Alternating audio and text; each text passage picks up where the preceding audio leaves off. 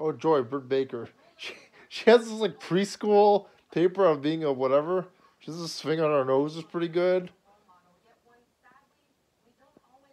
She's she's actually a pretty good heel though. Also upcoming is uh, Kip Sabian versus the Trump brother, the other guy, the Kentucky gentleman. It's gonna be a really good match, very underrated. If it's good, this follow the Kenny Omega match.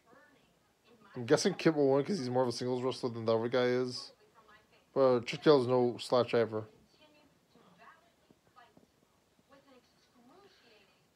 I'm pretty sure she did this at her actual dentist office. This promo.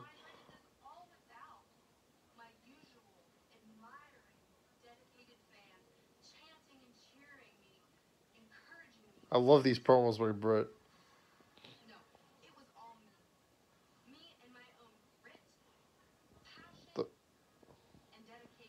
I would prefer if she didn't do the dentist gimmick, but otherwise it's pretty good.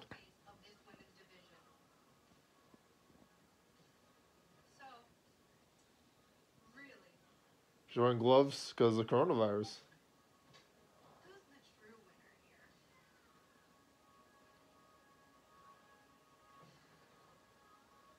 Ugh, needle match. Alright, that's it. Or you thoughts on subscribe.